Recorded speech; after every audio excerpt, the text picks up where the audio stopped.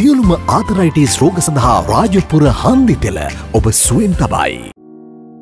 අගෝස්තු තිස්සෙක් වන දාවන විට සියලුම විදේශ හමුදා තම රටින් ඉවත් කරගත යුතු බවට වන කාලවිරාමය කිසිසේත් දිගුණොකරන බව ඇෆ්ගනිස්ථානයේ බලය අත්පත් කරගෙන සිටින තලේබාන් සංවිධානය පවසනවා. ඒ ඇතිකරගත් එකඟතාවයන් උල්ලංඝනය කිරීමක් ලෙසයි තලේබාන් ප්‍රකාශක සුහයිල් ශහින් ප්‍රකාශ කළේ. එවැනි තත්වයකදී දැඩි ප්‍රතිවිපාකවලට මුහුණදීමට සිදුවනු ඇතැයි තලේබාන් සංවිධානය අනතුරු අඟවා තිබෙනවා. කෙසේ නමුත් දහස් සංඛ්‍යාත ඇෆ්ගන් සිවිල් වැසියන් රටින් නික්මීම සඳහා කාබුල් ගුවන්තොටපොල අසල තවදුරටත් රොක්වී සිටින අතර ඒ සඳහා අගෝස්තු තිස් එක කාලවිරාමය දීර්ඝ කිරීම පිළිබඳ සලකා බලන්නැයි රටවල් රැසක් ඇමරිකාවෙන් ඉල්ලා ඇති බවයි විදෙස් මාධ්‍ය වාර්තා කළේ ඒ අනු ඇමරිකානු පෙන්ටගනය සඳහන් කළේ අගෝස්තු තිස්සෙක් වනදාවන විට ඇෆ්ගනිස්ථානයේ නික්මීමේ සැලසුම් මෙතෙක් වෙනස් කරනු මැති බවයි. එමෙන්ම තලේබාන්වරුන් කාබුල් නුවරට ඇතුළ වූ අගෝස්තු දාහතර වනදා සිට මේ දක්වා ඇමරිකාව විසින් පුද්ගලයන් හතලිස් අටදහසක් පමණ ඇෆ්ගනිස්ථානයෙන් ඉවත් කරගෙන ඇති බවයි දවල මන්දිරය ප්‍රකාශ කළේ.